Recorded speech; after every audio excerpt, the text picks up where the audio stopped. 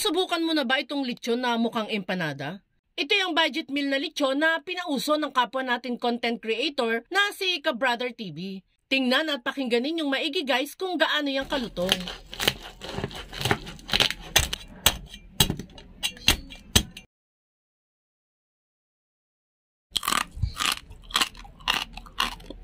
Alam kong natatakam ka na. Kaya ano pang hinihintay natin? Let's start!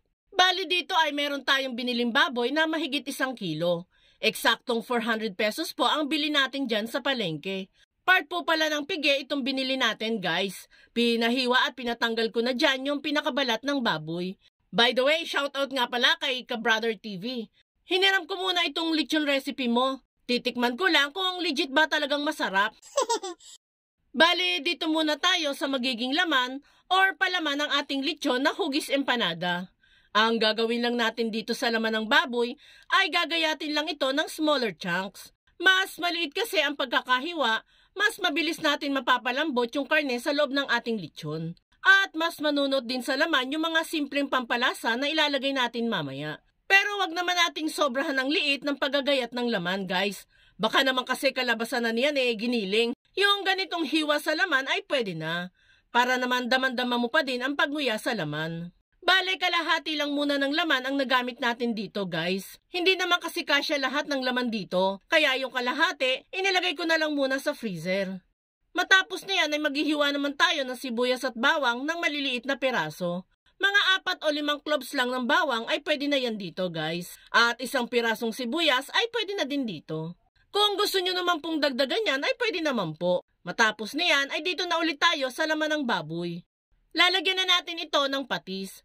Tansya-tansya na lang ang ginawa ko dyan, guys. Di na tayo magme-measure-measure dito. Sunod ay yung mga hiniwa nating sibuyas at bawang. Sunod na natin dyan itong isang maliit na sachet ng pamintang durog. Halu-haluin lang muna natin yan.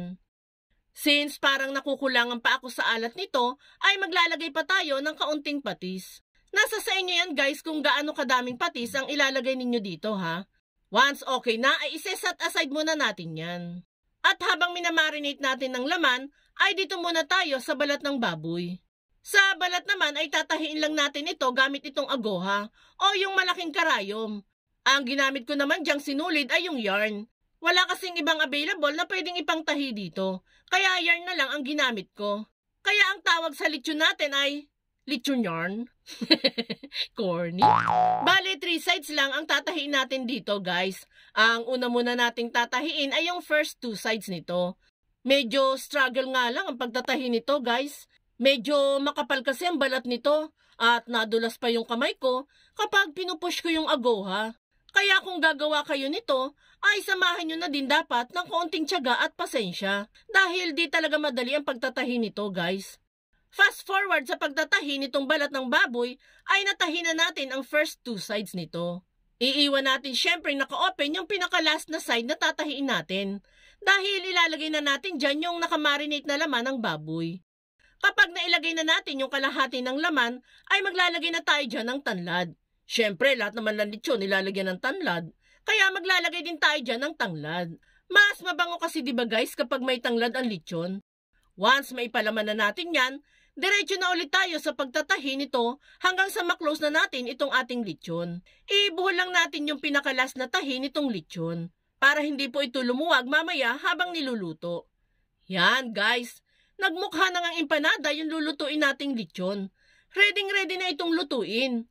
Bali, sa air fryer nga pala natin to lulutuin guys. At bago pala natin yan lutuin, ay papahiran muna natin yan ng toyo. Para mas maganda daw ang kalalabasan ng kulay nito, sabi ni Ka Brother TV. Pahiran lang natin lahat ng sides nitong ating lechon. Once okay na, ay isa lang na natin yan sa ating air fryer. Nakaset ang init nito sa 180 degrees Celsius at isiset natin ang timer nito sa 30 minutes. Balikan natin yan mamaya after ng 30 minutes. Yan na nga guys, after ng 30 minutes ay ito na yung naging itsura ng ating lechon medyo nagpuputok-putok na ang balat nito. At yung kabilang side naman ay medyo maputla pa. Itong kabilang side naman ang lulutuin natin dyan guys. Iset ulit natin ang timer ng 30 minutes at nakaset pa din ang init sa 180 degrees Celsius. Buksan na lang ulit natin to mamaya after ng 30 minutes. After ng ikalawang 30 minutes ay eto na yung resulta. Nag-brown na din at medyo nagpuputok-putok na din yung balat. Para crispy ang balat nito ay papahira naman natin yan ng mantika. Kahit anong klase ng mantika guys ay pwedeng pwede dito. Pahiran lang natin lahat ng side nito.